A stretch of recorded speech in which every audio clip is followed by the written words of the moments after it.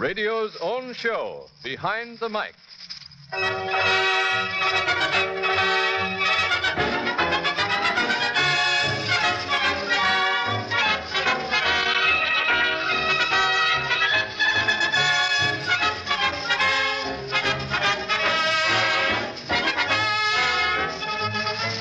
Radio. With a switch of a dial, radio brings you tragedy, comedy, entertainment, information, education. A whole world at your command.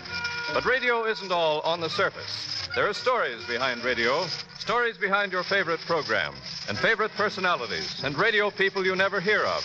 Stories as amusing, dramatic, and interesting as any make believe stories you hear on the air. And that's what we give you the human interest, the glamour, the tragedy, the comedy, and information that is behind the mic.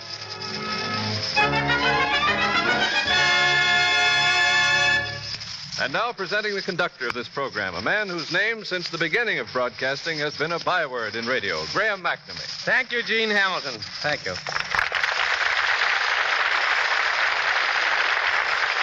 Good evening, ladies and gentlemen of the radio audience. First off, Behind the Mike presents Warming Up a Studio Audience.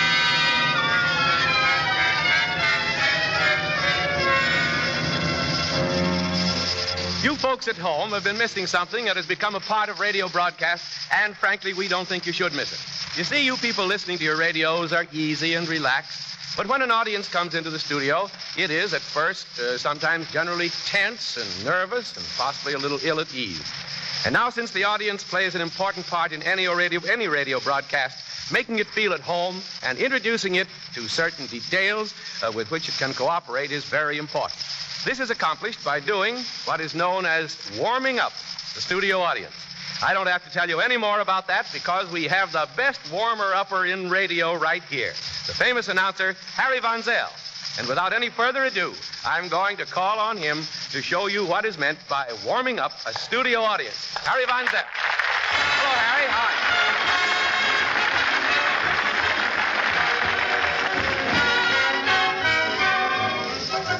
don't know that song, or I could sing a few bars of it to get started. Uh, Graham didn't say so, but I think I'd better mention that this sample of a warm up speech that I'm going to do is the one that I've been doing with the Fred Allen Show. That's a comedy program. And uh, before we go on, uh, five or ten minutes before we go on the air, I hobble out and start this speech. I say, ladies and gentlemen, we have but a very few moments before taking the air. And before that time, we'd like to welcome you here and express to you our thanks for the kind interest which prompts your visit to our broadcast. Uh, it's the usual procedure before going on the air for some little man like myself to hobble out and run through a brief recitation of the technical problems we face in the presentation of radio programs. We do that because your understanding of those problems and your cooperation can aid us immeasurably in meeting them. Of course, the most important element is the time element. You know, in radio, when your half hour is up, you go off whether you're ready or not. You can't hang over at the finish, you know. so, uh, this uh, fact has resulted in some very unsatisfactory finishes for radio programs. You probably have heard at some time or other some poor worried announcer signing off a program in very hurried fashion with words to the effect, don't forget to run out in the morning and buy a tube of National Broadcasting Company. it has happened, and of course, that only results in bewildering the poor listener who naturally never had any idea that you could buy the National Broadcasting Company by the tube. So we naturally try to avoid that by having as much flexibility as possible in the running time of the show. Uh, one means of achieving that desired flexibility is to seek your cooperation in the matter of applause. We ask that during the broadcast you allow us to give you a signal when it's time to stop applauding. We don't like you to overdo it. I think I had better add, too, so as to avoid any possible misunderstanding, that while we do cue the applause in the interest of saving time, there is at no time during the program any signal of any kind given when it's time to laugh. We wouldn't like to feel that if Mr. Allen or somebody here says something funny, that, uh, that you were sitting there choking back gales of uproarious laughter, waiting for someone here to tell you to let it fly. Uh, quite to the contrary, any time you think you have heard anything funny, You just go ahead and react in any way that suits you best, be it either a giggle, titter, or guffaw. And at such times as that may happen, we here on the stage, a little surprised and very grateful, immediately stop whatever we're doing and hang around until you grow weary of laughing. then we plunge blindly on into the next bit of hilarious higgledy-piggledy, hoping for more bursts of gay chortles throughout the show. Sometimes we get them and sometimes we don't. well, we only have 30 seconds now before taking air. It's not as much fun as taking gas, but we sincerely hope that when you leave this studio tonight, you leave feeling that you have enjoyed one of the happiest hours of your life. Thank you very much. Thank you.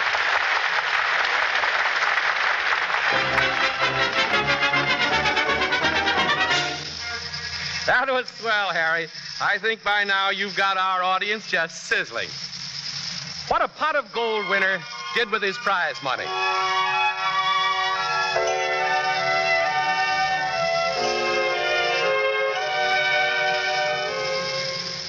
One of the most popular shows in radio is the Pot of Gold program, conducted by orchestra leader Horace Heidt. For those of you who don't know, the feature of the program is this. Each week, a telephone number is selected somewhere in the United States. The lucky person is then phoned.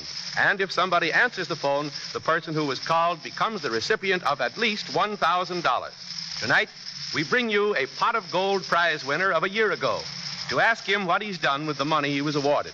Introducing Mr. Sidney Anthony of Stamford, Connecticut.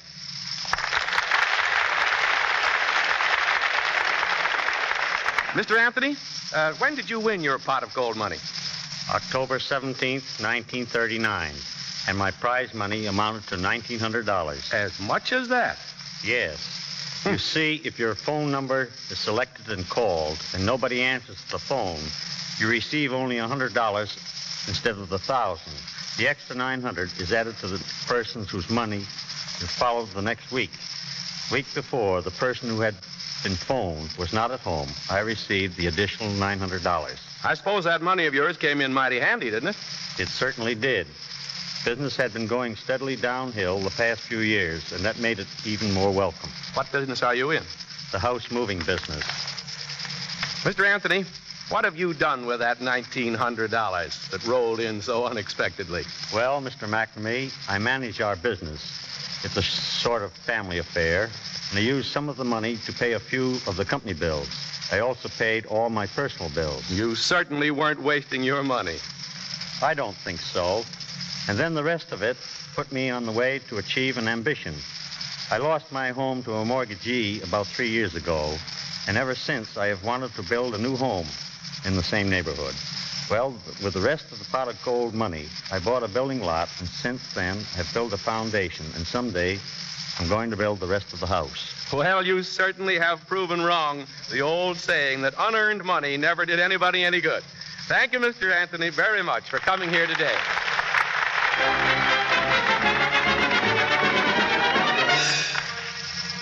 Behind the Mike presents the story behind how a radio program influenced a listener.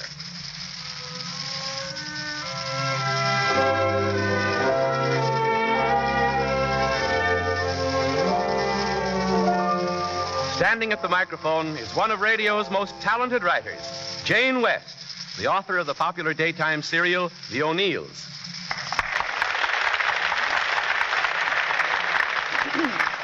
Jane, that was a most interesting story you told me about the effect of your program on a listener. And I'd like you to tell it to our audience. Will you please? Why, certainly, Graham. Uh, not long ago, I went into a New York department store to buy some dresses. And one of the saleswomen, whom I knew, uh, greeted me with, uh, Hello, Mrs. O'Neill. Is your program still on the radio? I said, Yes, we're still going along. And at that, a lady who was standing next to me said, Pardon me, I couldn't help overhearing. Are you really Mrs. O'Neill of the Radio O'Neill? Why, no, I'm not Mrs. O'Neill.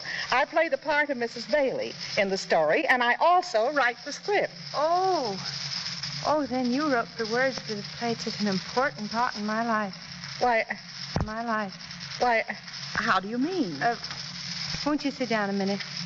well, I, Uh, please, I, I feel I've just got to tell you. You see, uh, I used to live here in New York, and I was very happily married. And then my husband bought a very promising store in a little town upstate. And that's where our troubles began. I didn't know anybody in the town, and I was lonely and dreadfully unhappy. I even refused to try to make friends, and it seemed that my husband and I did nothing but quarrel. And finally, things got so bad between us that at last I went to see a lawyer about getting a divorce. And after telling him my story, Well, the situation is unpleasant, probably for both of you. But I don't think it necessitates divorce. After all, you've been married happily for years. You have two lovely children. You know, divorce would would mean a miserable existence for for them especially. Now, why don't you go home and try to work out some sort of an adjustment? while I was at the lawyer's that afternoon, a radio had arrived at our house. We hadn't had a radio since we moved from New York because the current in our new home was uh, AC instead of DC. And a couple of days later, while I was still thinking over the lawyer's advice, I was fiddling around the radio, and just by accident, I tuned in on the O'Neills.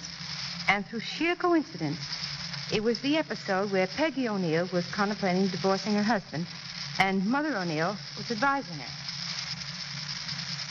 Peggy, dear, you've got to think more carefully before you take such a drastic step. It isn't easy to face the future alone after years of married happiness, love, and companionship. Your husband perhaps has made a mistake. Even say that he has. But have you made every effort possible to try to save your marriage, your home, and future for your children? Have you really tried to meet him halfway? Peggy, when you married Monty, you entered into a lifetime contract, for better or for worse. And you should honestly try to live up to that agreement, just as much as you would to a business contract. Darling, you must be more understanding, more unselfish, and more forgiving more loving, and more willing to help. I was fascinated. Mother O'Neill seemed to be talking to me. I could hardly wait to hear the following day's episode, which also concerned Peggy's proposed divorce. And I started to apply Mrs. O'Neill's advice to my own experience. I took an interest in the community and the people around me. I made friends, and I tried to understand my husband's problems. And uh, make a long story short, I'd never want to live any place else than where I am. And I've never been so happy in all my life. Thank you, Jane West, for a most interesting story. And thanks to you, Kate McComb, for your sympathetic characterization of Mother O'Neill.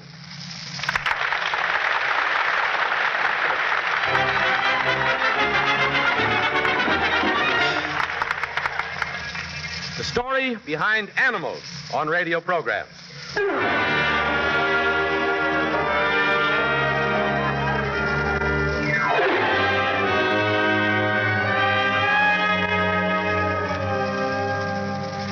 When a radio script calls for a hippopotamus, an African warthog, or a chickadee, instead of going out personally to enlist these animals for the sake of realism, the director generally calls upon one of a small group of men who specialize in animal sounds. Among these animal impersonators is our next guest, Donald Bain. Donald, exactly what animals can you imitate? Oh, Graham, I can imitate everything from mosquitoes to elephants. Mosquitoes to elephants? yes, in other words, from. to.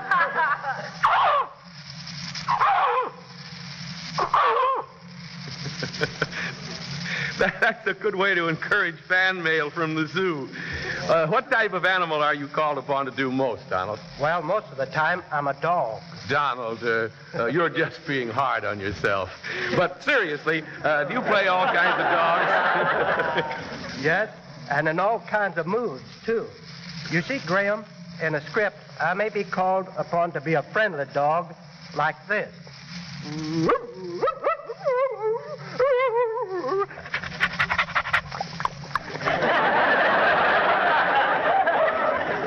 a suspicious dog like this.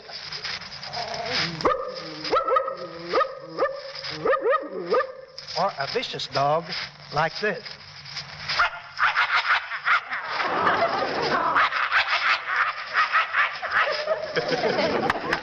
that last is a, is a, type of a dog that's just not smart to argue with. Yes, especially as his arguments have teeth in them. You certainly must have studied dogs in various moods. Yes, Graham, and any person who really knows dogs can tell exactly how they feel by the sounds that they make. When a dog feels he is being left behind and wants to go along with his master, he'll sound like this.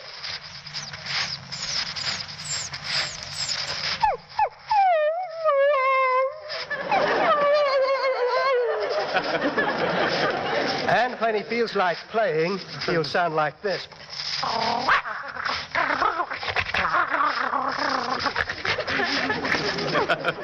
Ladies and gentlemen, if any of you have your dogs listening to the radio, will you please explain to them uh, that they're not listening to a highly successful canine, but merely a uh, reasonable facsimile? Don, what other animals are you called on to imitate? Well, I have not been entirely unsuccessful as a chicken. Chicken. and I was Joan Bett's pe- pet canary bird on a Lux show. I had a run, quite a run of pigeons on Mr. District Attorney and others last winter. They sounded like this.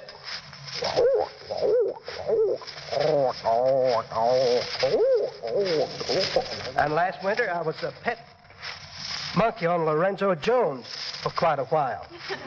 then, not long ago, they made a jackass of, of me on a Radio Guild show. What was the most difficult animal impersonation you ever had to do, Donald? Well, I think it was the hardest, the hardest role for me to play was a killer ape in one of the shadow scripts. Hmm. That was hard because whenever I do my imitations, I put my whole heart and soul into them, and it was terrific strain on my abdominal muscle. Do you mind recreating that famous moment for us when you were the killer ape? All right, here goes.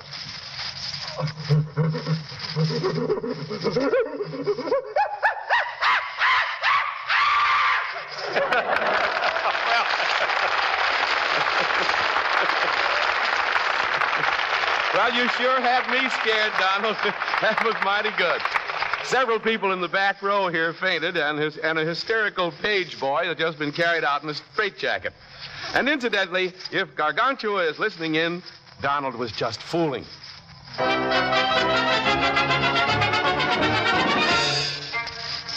Oddities in radio.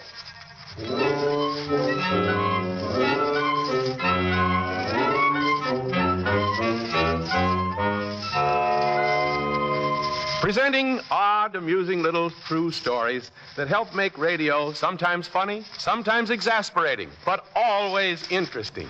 This week's oddity.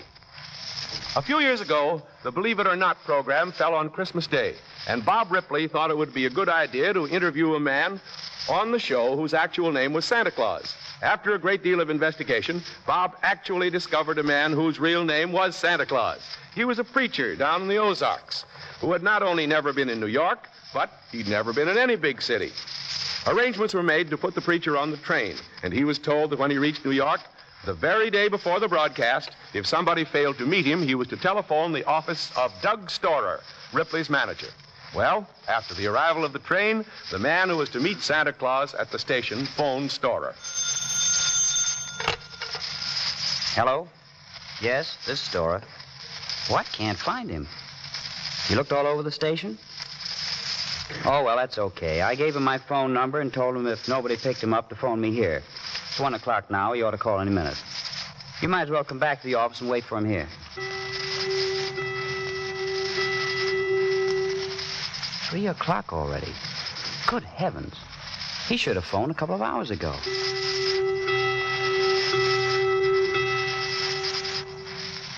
Say, I wonder if anything's happened to him. Don, you sure you looked all over the station? Yes, I have, Doug. I'm starting to get worried. After all, this is the first time he's ever been in a big city.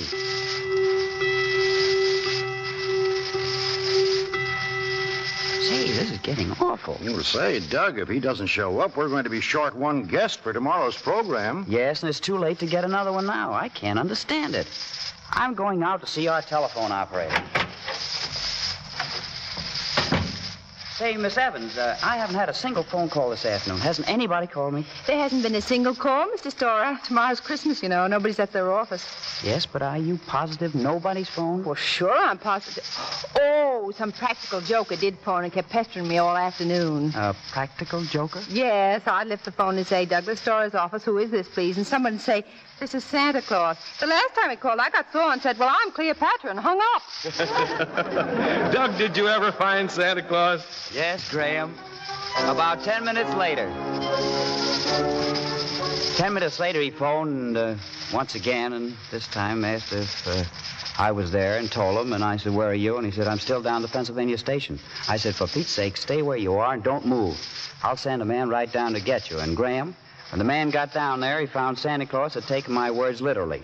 He was still in the telephone booth where he had been all afternoon trying to get me. and you can bet your life, Graham, we didn't let him out of our sight until the next night when he appeared on the Believe It or Not program. Thank you very much, Doug Storer. you did a great job acting the part of yourself. So long, Doug.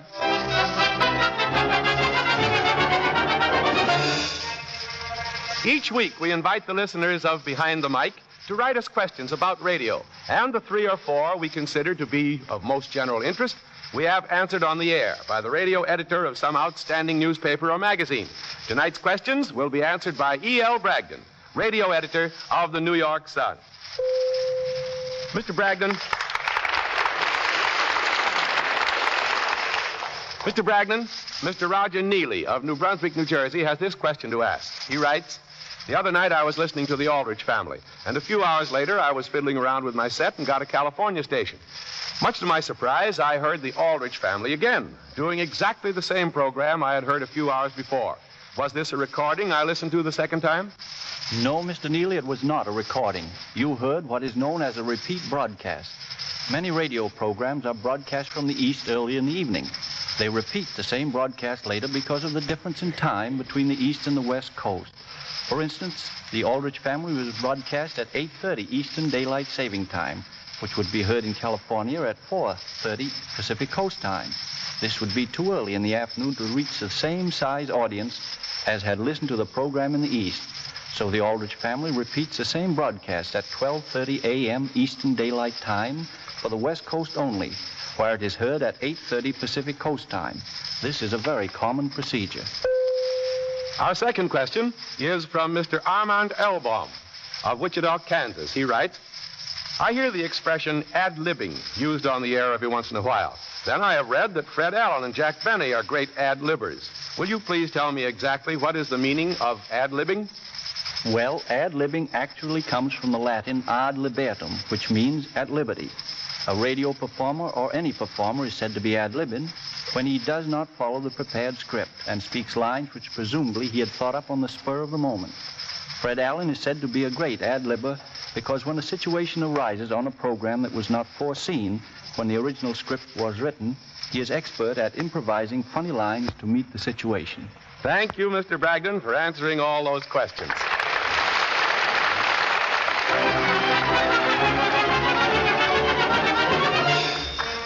Behind the Mike presents the story behind the story behind the mic.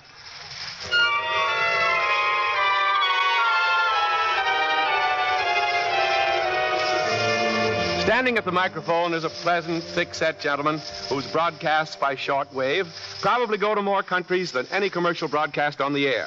The gentleman, heard three times each week over NBC, is Captain Tim Healy, conductor of Captain Tim Healy's Stamp Club of the Air.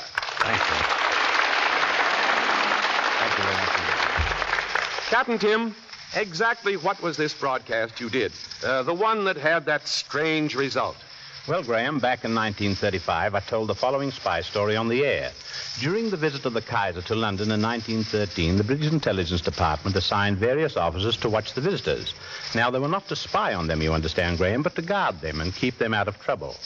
One night, shortly before midnight, a Secret Service officer who was disguised as a footman in Buckingham Palace rapped on the window to call the attention of another Secret Service officer outside. What is it? General von Kleber is leaving the palace. Right, uh, I'll keep an eye on him. The general drove off in a taxi, followed at not too great a distance by the officer, also in a taxi. The general's taxi twisted and turned through the streets as if, well, he was trying to shake off any possible pursuit. A maneuver which, incidentally, was not successful. Finally, about midnight, the general drove up before a barber's shop in North London. He got out of the taxi and, after looking about very carefully, knocked at the barber's door. Oh, Dummkopf. There, was ist los mit Ihnen? Eh? What's the idea of keeping me waiting here? Oh, I'm very sorry, General. Well, well, well, well. The intelligence officer hung around the outside of the barber shop, and it was an hour before the general emerged. The general was then driven back to Buckingham Palace. The intelligence officer thought this very strange, and he told his chief. And his chief thought it was rather strange. Upon investigations, it was discovered that the barber shop was owned by a man named Carl Ernst, a naturalized British subject. The chief assigned different officers every day to hang around the barber shop and see if there was anything in the barber's actions to arouse suspicion. One day, the chief himself was in the barber shop waiting to get shaved when the postman entered and threw a large brown envelope on the table. Hello, Carl. Oh, hello. Got something for me? Yes, here's your money from Germany. I wish it was. Goodbye. Righto. I say, Barber, I'll be back in a few minutes. Oh, but you're next. Uh, yes, but I must get a check cashed to the bank, and it's almost closing time. On my place for me. All right, I will. I say there, postman. Postman, I want a word with you. Oh, blimey, I want to deliver these letters and, uh... Oh, Scotland Yard, eh? Yes. Let's pop into this pub for half a moment. All right. Now, first, as a loyal British subject, I want you to keep your mouth shut about whatever I ask you. You don't have to worry about me. That big brown envelope you brought into the barber shop. Does the barber get letters like that often? Depends on what you might call often. He gets one of these envelopes regularly. I should think about once a month. Oh, oh.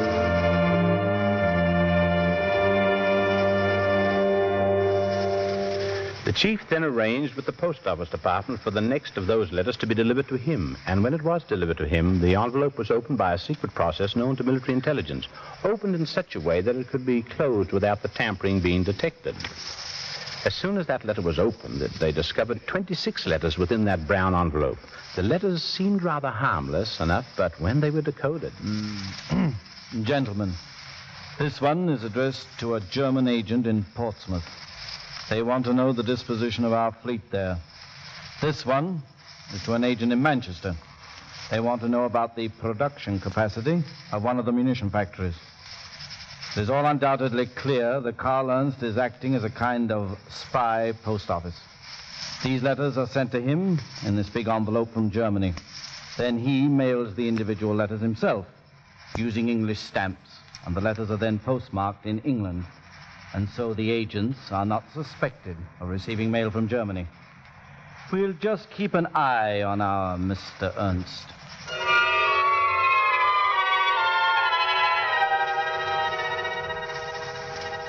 The British intelligence kept their eye on Mr. Ernst and on 26 German agents, so well that when the war was declared in 1914, they were all immediately clapped into jail. So that Germany was in complete darkness concerning the British troop and naval movements the few first months of the war. What happened to Ernst and the other agents? Well, Graham, of course, they paid the penalty for being spies. Now, Graham, what makes this story so strange is this. The day after I told this on the air, I received a telephone call from a gentleman who'd heard the broadcast, and he asked me to give him an interview. I did, and he told me a very strange story. He had been in complete ignorance as to what had happened to his grandfather, who had disappeared in England more than 20 years before, until he had heard my broadcast. His grandfather, Graham, had been Carl Ernst. Thank you, thank you, Captain Tim Healy, for a very interesting and a mighty entertaining tale.